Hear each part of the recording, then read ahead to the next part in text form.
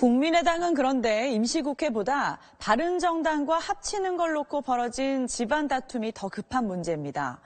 장, 당 지도부가 목포에 갔다가 각자 반대편한테서 안철수 대표는 간신배라는 소리를 듣고 박지원 전 대표는 얼굴에 달걀을 맞았습니다. 전병남 기자입니다. 마라톤 대회 행사장에 서 있던 박지원 전 대표에게 달걀이 날아듭니다. 그 다음에 풀포크가 들어있습니다. 자, 실제로 뭐가 보고 있습니다. 자, 옆에 사람과 어디? 통합론의 제동을 그만 걸라는 안철수 대표 지지자의 항의 표시입니다. 영혼과 양심까지. 박 전 대표는 내가 맞아서 다행이라며 대수롭지 않은 듯 넘겼지만 자신의 지역구 목포에서 당한 봉변이라 유쾌할 리가 없습니다. 공개 수모를 당한 건 안철수 대표도 마찬가지 간신배라는 원색적인 야유가 튀어나왔습니다. 우리가 지어서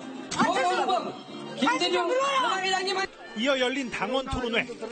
서로를 비난하는 내용의 현수막을 들고 언성을 높이더니 결국 갈등은 몸싸움으로까지 번졌습니다.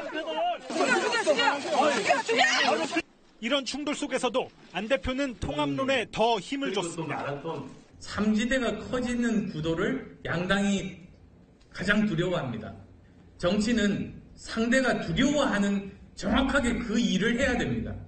호남 중진들을 비롯한 통합 반대파는 이번 주 광주를 방문해 맞불을 놓기로 했습니다. 심리적 분당 상태라는 평가가 나올 정도로 국민의당 내부 갈등의 골이 깊다는 게 여실히 드러났습니다. SBS 전병남입니다.